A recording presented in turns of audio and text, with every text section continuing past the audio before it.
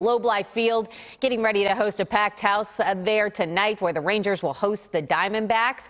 Our Lauren Crawford is live out there this morning in Arlington where all of the game day events are just about to get underway. And Lauren, I mean, my favorite topic that we haven't even touched on yet is the food. Brooke, we're out here this morning with the official, the official barbecue restaurant of the Texas Rangers. I don't know what better way to start the morning. This looks so good, but it smells even better.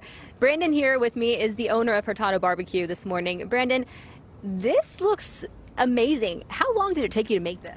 So this is our Heim Hammer. It's special for the World Series. You can only find it here at Globe Life Field, and these take about 12 to 14 hours to smoke overnight.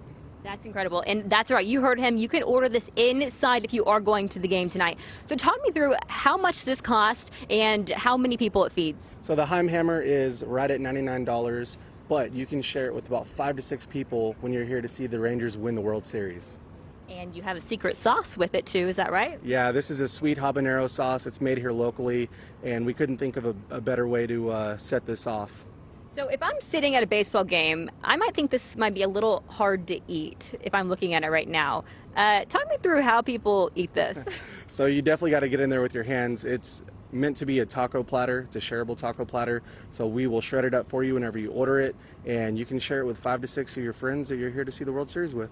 And real quick, what else is on the menu inside? So we do Tex-Mex barbecue. We have brisket elote, we have loaded nachos, brisket sandwiches, basically anything that you can think of. We also brought beef ribs to the ballpark. So we're the first place at Globe Life Field to ever bring massive beef ribs to the ballpark. Brandon, that all sounds and looks so delicious. Thank you for sharing that with us this morning. And that's right, you can get this inside if you are going to the game tonight. Get about five or six friends, split it you probably won't regret it.